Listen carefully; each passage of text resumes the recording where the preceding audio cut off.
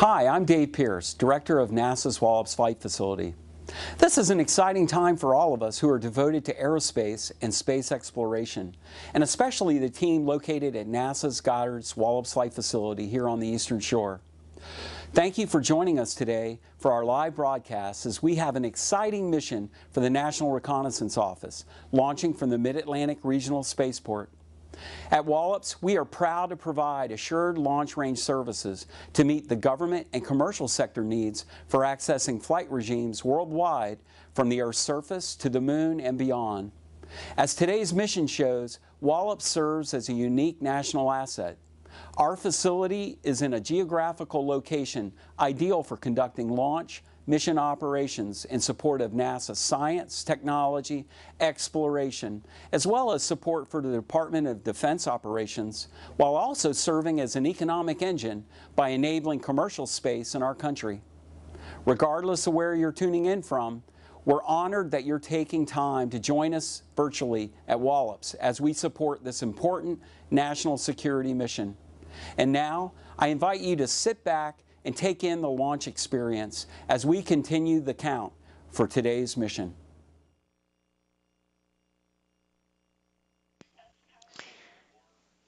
Good morning. We are T minus 28 minutes 43 seconds and counting for the launch of Northrop Grumman's Minotaur 1 rocket for the United States Space Force, carrying three national security satellites for the National Reconnaissance Office, or NRO.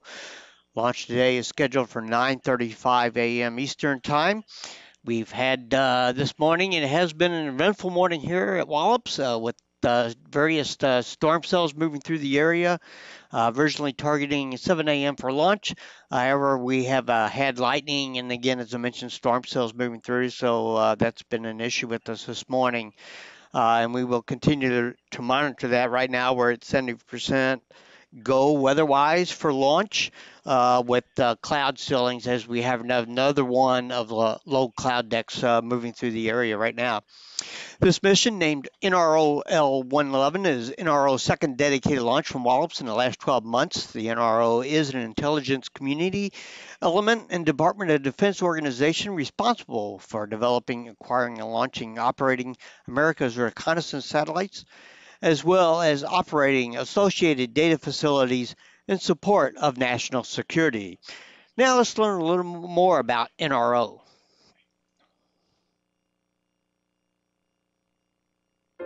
This year, the National Reconnaissance Office celebrates 60 years since its founding. Thanks to our heritage, NRO today has an unrivaled constellation of reconnaissance systems that help protect our nation 24 hours a day, 365 days a year.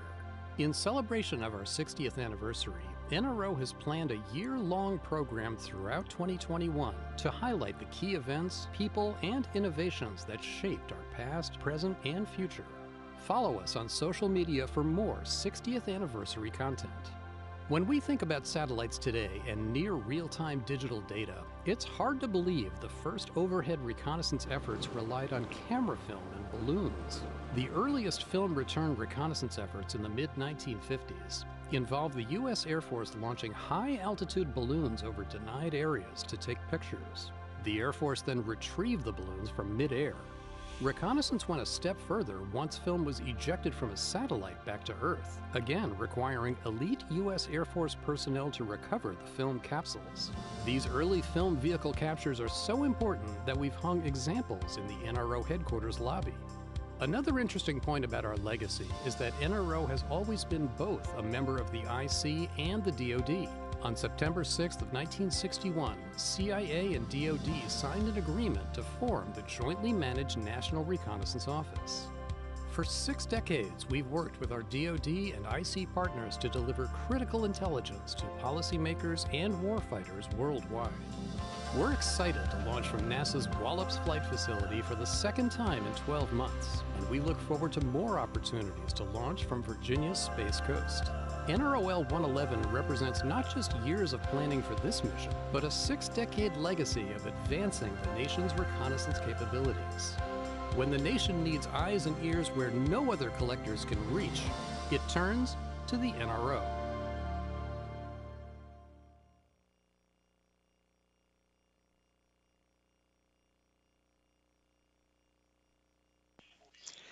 As mentioned, this launch is being conducted by the United States Space Force and Space Missile Systems Center's Launch Enterprise. It is the third small Space Force mission from Wallops in the past year. Previous launches were a Minotaur 4 mission in July 2020 and a Sounding Rocket mission earlier this year in March 2021.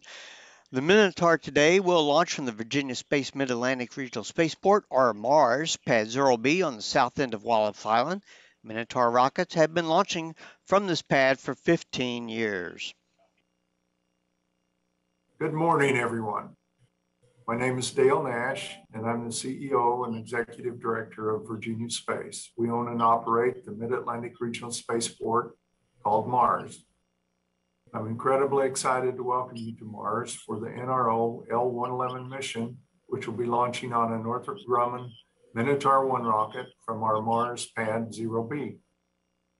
want to thank Northrop Grumman and Wallops, without whom we would not be able to do this launch.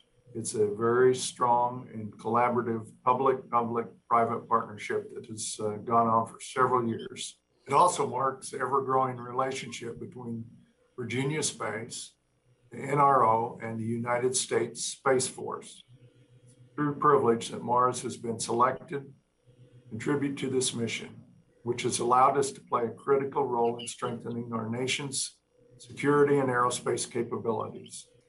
This is our second launch from Pad B for the NRO and Space Force, and we certainly hope to partner with them many times in the future.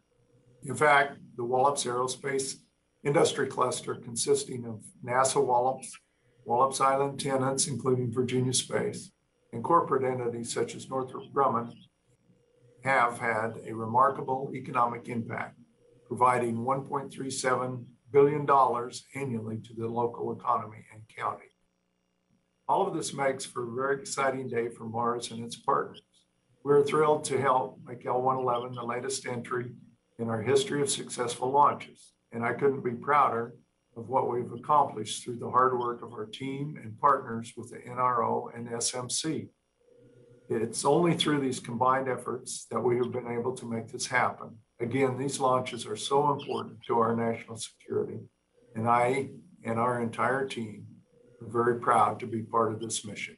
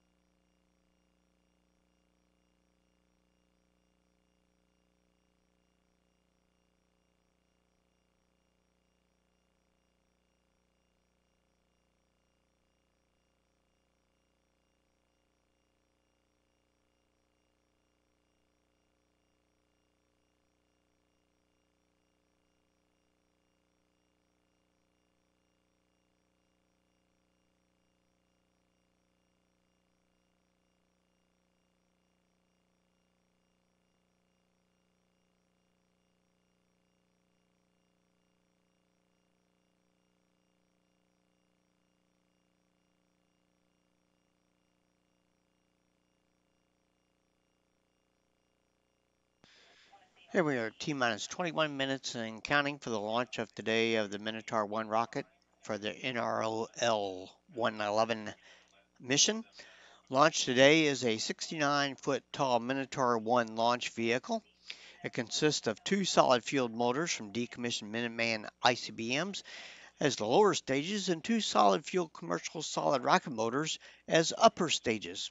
NRO L111 is the second Northrop Grumman orbital launch from the Mars launch pads in 2021.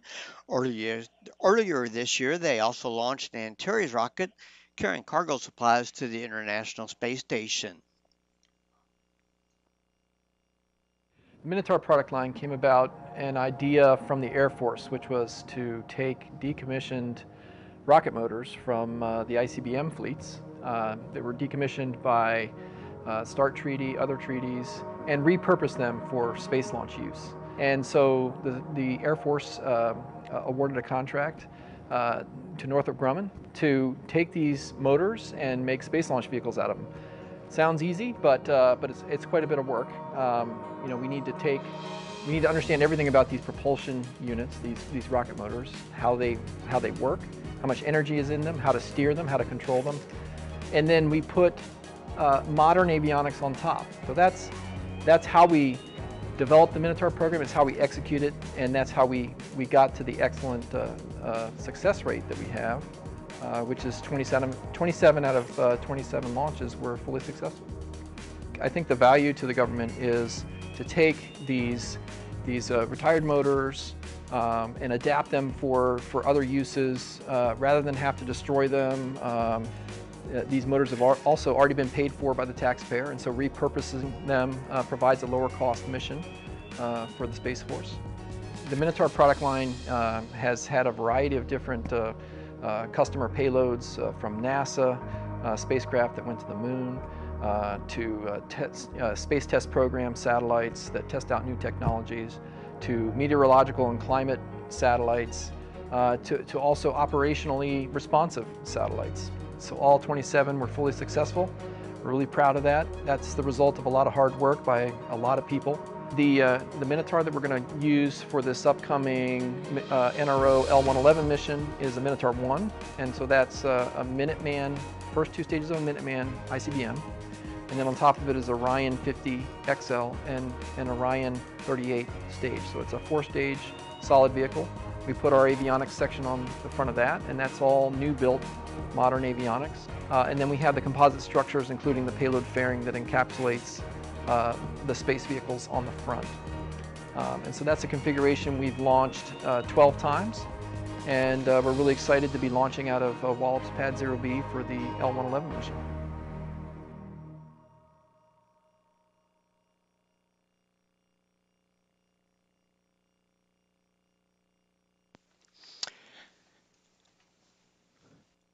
So we're current coming up on T minus 17 minutes and 30 seconds and counting.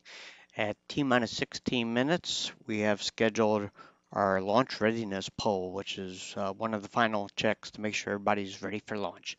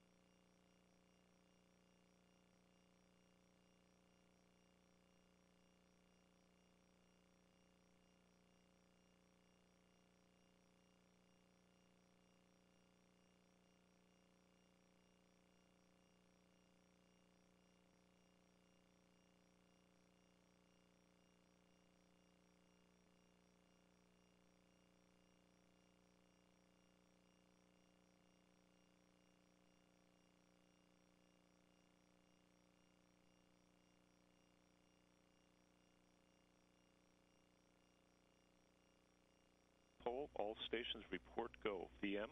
VM is go. VLC? VLC is go. PCC? PCC is go. VC? VC is go. FTS? FTS is go. TLM? TLM is go. GNC? GNC is go. ME? ME is go. OPS? OPS is go. CE? CE is go. NGMM? NGMM is go. GSO? GSO go. FSO? FSO go pending data review of the ARM in Coquina. Copy. RSO? RSO go pending the same. NASA PM? NASA go pending safety go. NG? NG is go. MD? MD is go. NASA TD? TD go pending RSO. Copy. Check step 58, go pending. Standing by step 14.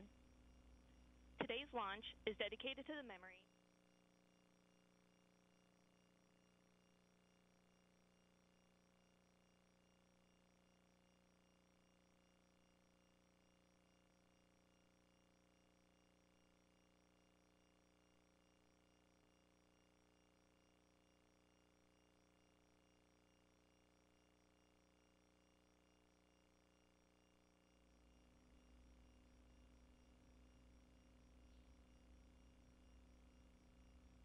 Betsy, go.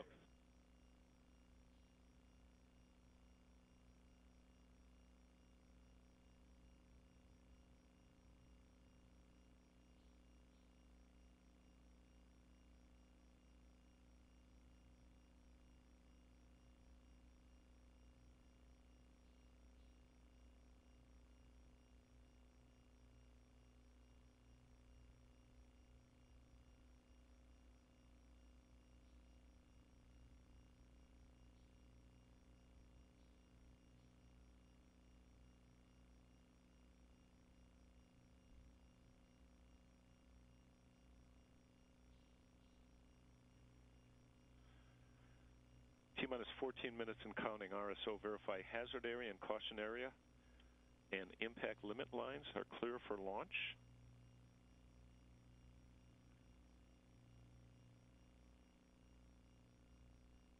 RSO, did you copy? GNC report status of wind data.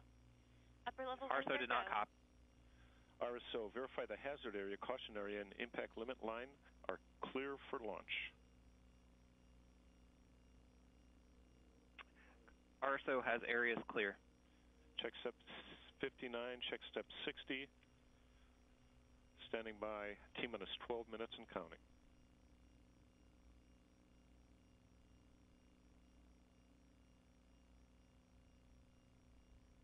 LCTD archives check. Signal confirmed at 131201. TD is go. Copy that, sir. Complete check. Complete step 16, standing by step 61 and 30 seconds.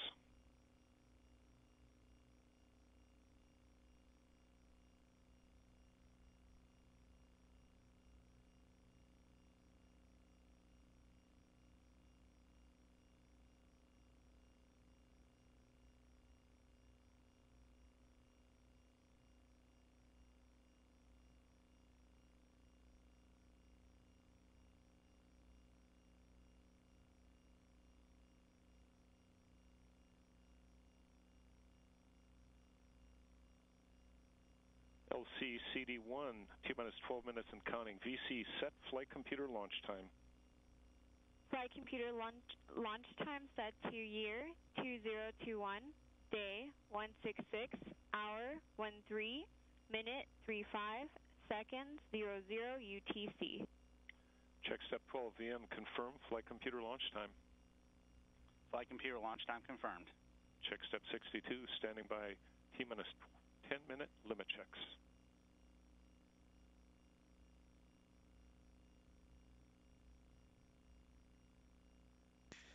And this is just a reminder, reminder that there is some latency in the stream from actual events here at Wallop. So uh, if you take that into account, if you're outside trying to uh, to watch the launch and listening to the count.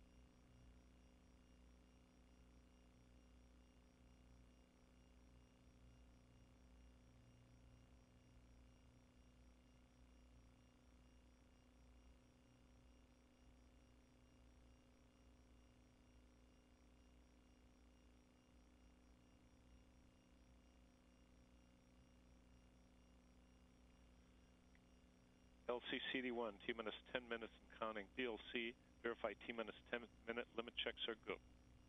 Limit checks are go. Check step 63. FTS, switch FTS A and B, internal power on. FTS internal power on my mark. Three, two, one, mark. Batch command proceeding. Copy. Internal power is on. Check step 64. FTS, switch FTS A and B, external power off. FTS external power is off. Check 65. VLC, evaluate FTS A and B voltage and current. Proceeding. Copy.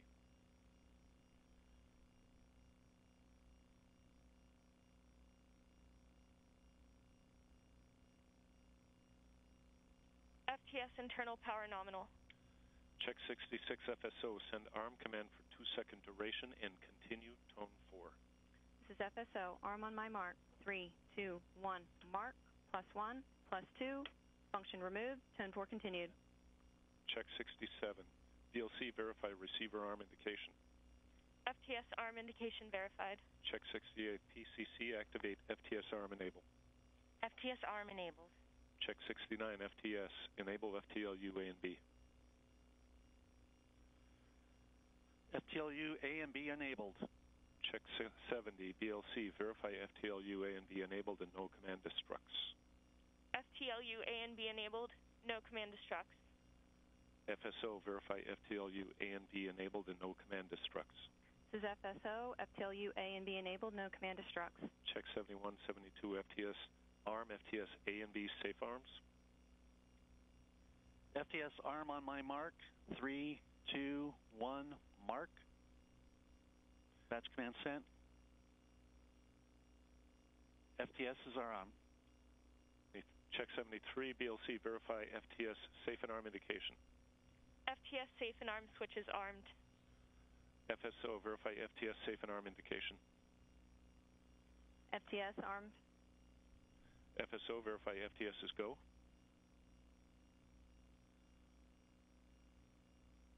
Stand by.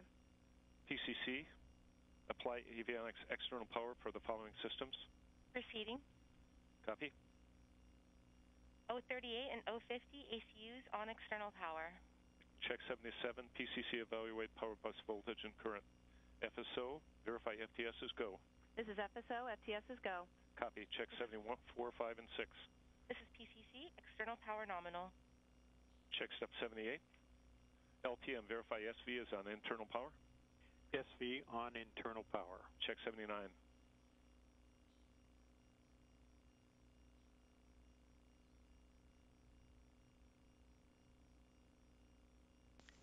T minus seven minutes counting.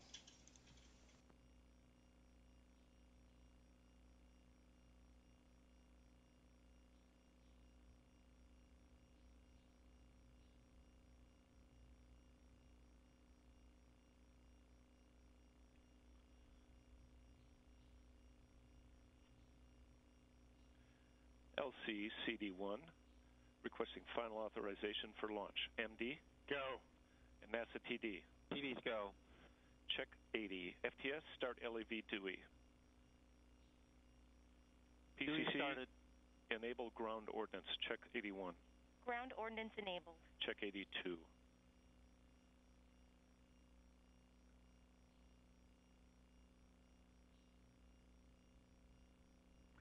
LCFSO break break. Copy. Go ahead. FSO is red.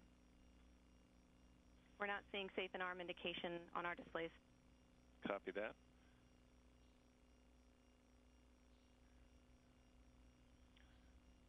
Are you seeing it on your display, VM? VM is seeing it, yes. Copy that. You've got 30 seconds. Any any update on your displays? FSO. This is FSO, no change. Our telemetry data shows that um, it is still safe. Is there a way to rotate it? FSO, which item, uh, do you have any idea which item you're looking at? Stand by one. PCC switch avionics internal power on.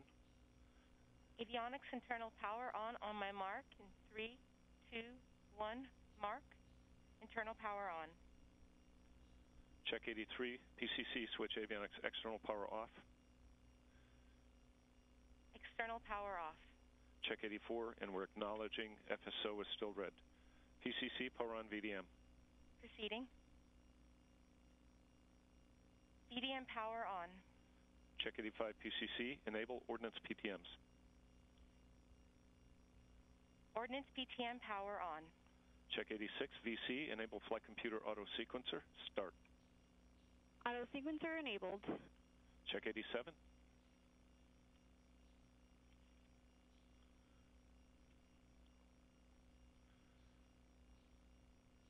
VM, verify OrbNav has been in gyro compass for at least 30 minutes.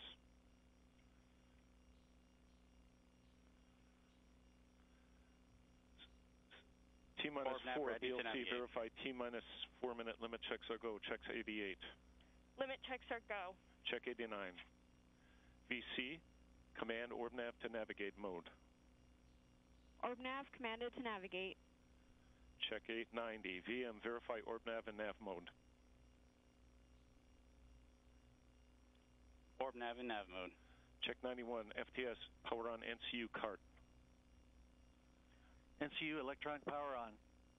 Check step 92. NASA TD, report range green. FSO, repeat, report range green.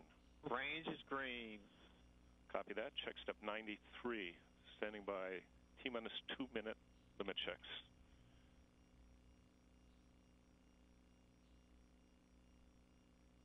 And FSO, can you report you were you've FSO is removed green. your red copy? Thank you.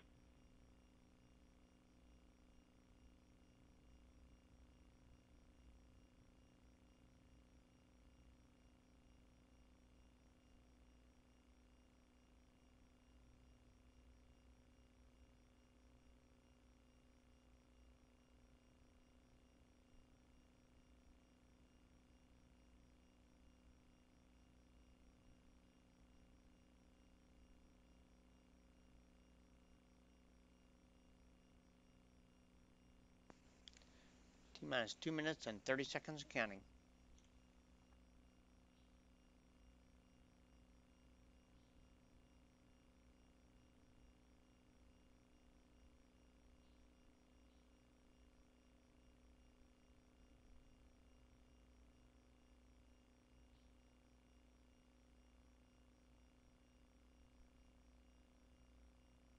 LCCD1 VM verify auto sequencer started. Auto sequencer started. VLC verify T minus two minute limit checks are go. Limit checks are go. PCC activate ARM enable. Arm enabled. PCC ARM ODMs. ODM's armed. PCC ARM Orions. Orion's armed. PCC ARM boosters.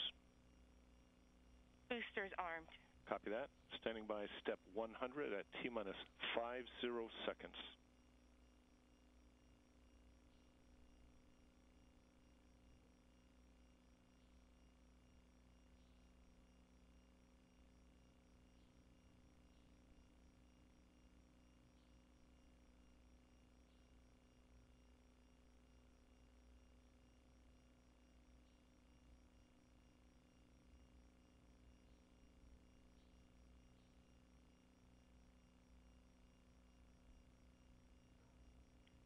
T minus 60 mark.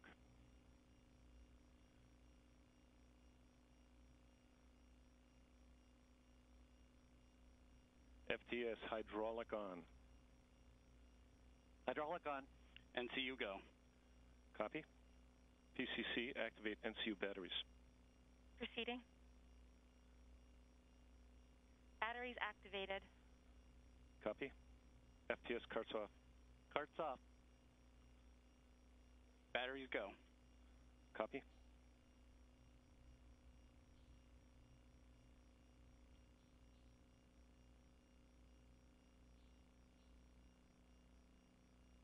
VMs go for launch. Copy, checks.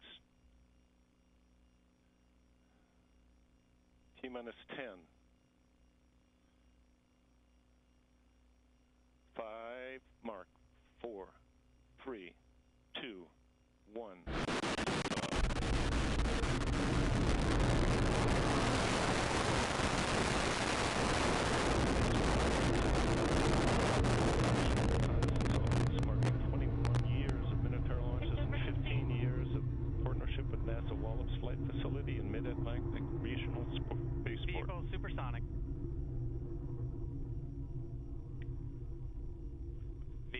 Power is nominal. Mach 2. Approaching max Q, attitude nominal. Mach 3, stage 1 thrust is over 200,000 pounds. NASA PM copies. Mach 4, vehicle is now half its original mass.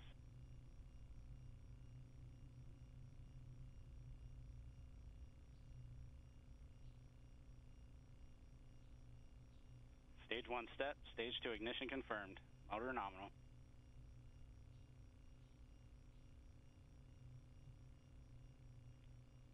Vehicle flight path and attitude are nominal.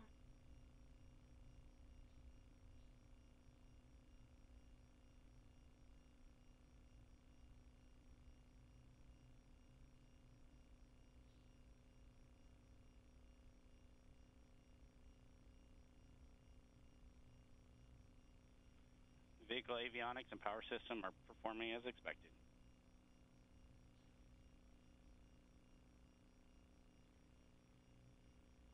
Vehicle flight path and attitude are nominal. Approaching stage 2 burnout, vehicle is now one quarter its original mass.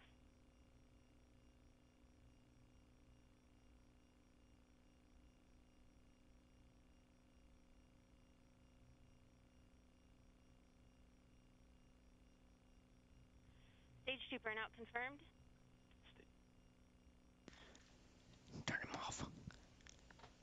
And this concludes today's coverage of the Minotaur 1 NRO L111 mission launched at 9:35 a.m. Eastern Time. Mission information, including photos, will be available on the NRO, NASA, Wallops, and Northrop Grumman websites and their respective Facebook and Twitter accounts. The next launch from Wallops is a NASA Terrier Improved Orion suborbital sounding rocket carrying the Rock On educational payload. Launch is scheduled for 8 a.m. Thursday, June 24th. Thanks for joining us today.